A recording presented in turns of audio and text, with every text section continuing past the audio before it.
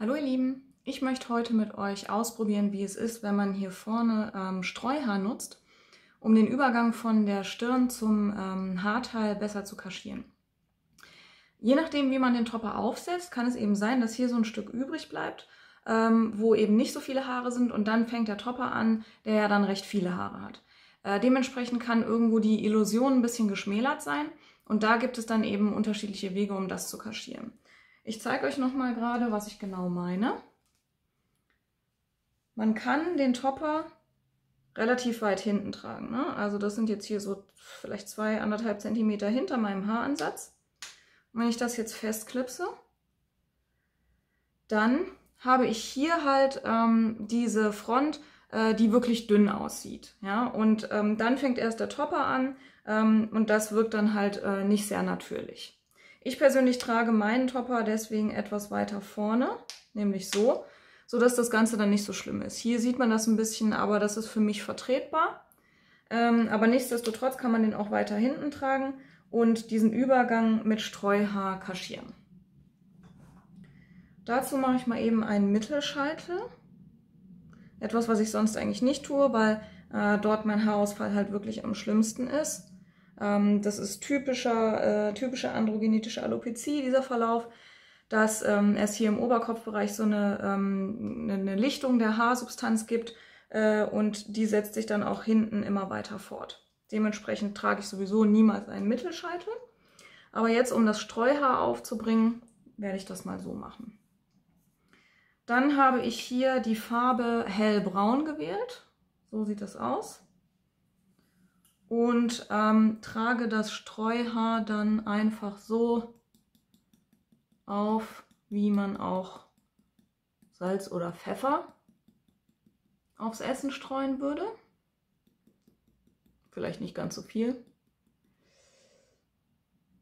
Und dann verbindet sich das Streuhaar mit dem vorhandenen Resthaar und legt sich natürlich auch auf die Kopfhaut.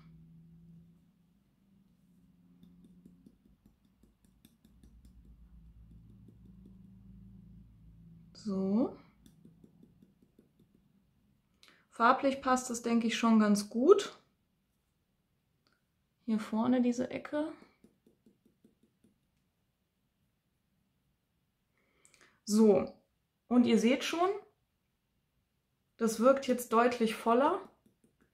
Einfach weil die Kopfhaut jetzt die Farbe meiner Haare hat und diese Fasern sich ähm, an das Haar schmiegen oder Klammern anheften, wie auch immer man das formulieren möchte. Und dann hat man eben diesen Effekt. Ähm, das geht zum Beispiel auch, wenn man vielleicht noch nicht so starken Haarausfall hat ähm, und keinen Topper tragen möchte oder mal eine Pause machen möchte, dass man einfach dieses Streuhaar nutzt äh, und dann das Haar ein bisschen dichter erscheint. Ähm, für mich wäre das jetzt keine Option, weil das Streuhaar macht nun mal ähm, diese Situation nicht besser. Und ähm, ja, das reicht für mich persönlich einfach nicht. Aber äh, für das Kaschieren ähm, finde ich das auf jeden Fall ganz gut. Ich mache jetzt mal wieder meine ähm, Standardfrisur, den Seitenscheitel. Und setze den Topper wieder relativ weit hinten auf. Und jetzt sieht das schon wesentlich besser aus. Sieht nicht mehr so dünn aus vorne äh, und kaschiert deutlich besser. Man muss dann nochmal schauen, ich weiß jetzt nicht, ob das bei der Kamera sichtbar ist, dass man hier ähm, mit einem Wattestäbchen das, was zu viel rausgekommen ist und auf die Stirn gefallen ist, wegmacht. Sodass das dann nicht irgendwie unnatürlich aussieht. So. Genau, das ist dann das Endergebnis.